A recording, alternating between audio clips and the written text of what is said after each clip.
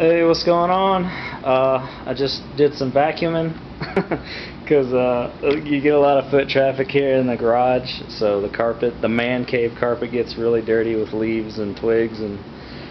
Well, I had to do some vacuuming, so and you know what that means. I got to do some vacuuming on the carpet. That means I'm going to be throwing down some awesome, in my opinion, keep in mind, my opinion, awesome horror, original horror uh, movie posters uh, the, one sheets. So um, I got two of them. So just gonna see two uh, posters in this update.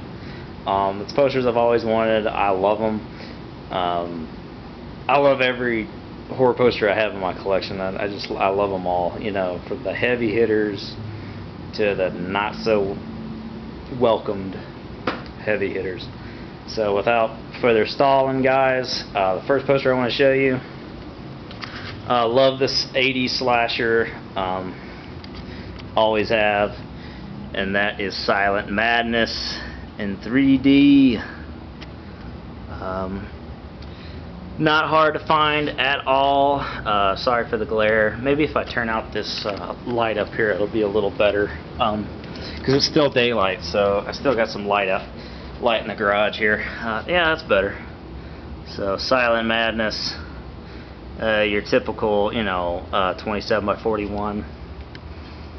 I love the graphics. I mean, he's out now. The terror has just begun. Chasing a co-ed through the woods. Um, this is a fun 80s slasher movie. Um, I do like the campy 3D moments that happens in the movie, like when he throws the hatchet. It just you can't help but laugh. It's just hysterical it's nothing of the quality that you'd see in like Friday the 13th Part 3, that kind of 3D. It's just it's a lower budget, so but I I think they pulled it off really with the you know with the kind of budget they were working with. I think they pulled it off really well. But I've always loved this poster and found it at a, just a really great price. I mean, this one this is another one that's like a dime a dozen, you know. Um, I wouldn't say it always shows up on eBay, but that's where I got it from eBay. But um, it kind of took me a while to get a hold of it. Um, but I wouldn't say it's as common as like uh, Madman or you know posters like that. I wouldn't say it's that common of a poster. Um, but there's that, guys. Awesome stuff. Another one I do consider a heavy hitter, and uh, you, you guys I got this one for like a steal. And I got these posters like a month back so I just haven't made a video on them until finally getting around to doing it now. But the next poster is of one of my favorite Cronenberg uh, movies. Is Scanners an original 27 by 41 uh, theatrical uh, one sheet awesome movie. Um, it's got some funky folds, so it's not like in perfect condition. It is folded. It is it is um, not um, hard to find one that's actually rolled, but you know, I got this for a great deal, and I didn't mind that it was folded. So, so I love the artwork. Awesome stuff. An original. I'll come down here and show you like the fine print. Um, fine print.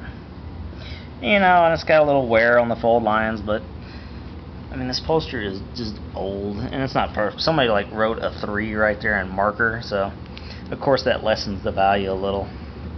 But I don't care. I mean, it's not a big deal. It'll be covered up when it gets framed, and uh, I'm not trying to sell these posters anyway. So I love these posters and be keeping them. So.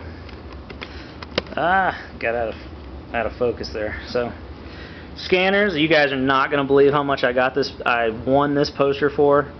Nobody threw down a vid, probably because they could, you know, find a one in better quality without the funky fold line there off the side. I did frame this, and it looks fantastic. So, um, but back to what I was saying. Uh, I got this, guys, for eleven dollars. Eleven dollars. Eleven dollars. This one, oh man, that was like a month ago. I don't remember. it wasn't too much. It was like uh, twenty something, twenty, maybe twenty five dollars because it's in really good shape. Like, but there you go, guys. Silent Madness, awesome, '80s trashy slasher trashiness, and then um, an amazing movie here. Brilliant idea for a horror movie, Scanners. So. Michael Ironside. That's one movie I just don't want people to touch as far as like trying to like remake this kind of movie. I just um I don't know. You know, um I'm not against, you know, remakes or anything like that. And I've got a few and quite a few in my collection, so um I just love the movie and it's just Michael Ironside, you know, how can you it's like with Robert Englund, with him being Freddy. You just some things you just can't. You just you should just leave alone, you know. Um, and this is a classic, uh, in my opinion. That um, you know, hey, make sequels. God, if you got to make a prequel, do that. But just uh, leave them alone. You know, it's the old cranky horror fan in me coming out right now. So. But that's the poster update, guys. I hope you guys enjoyed it. And uh, as always, thanks for watching and everything. And take it easy. Oh, gosh, before I forget, um, I should get in my first uh, creep show. I'm calling it a test print because I wanted to make sure the quality is good on the on the on the prints. I should be getting in my first creep show uh, print Monday. So once that once that gets in, I'll, I'll give you guys an update on price and shipping and I want to be I want to be cool on the shipping. I want the shipping to cost the same for everybody uh, whether it's in states or overseas. So so anyway later guys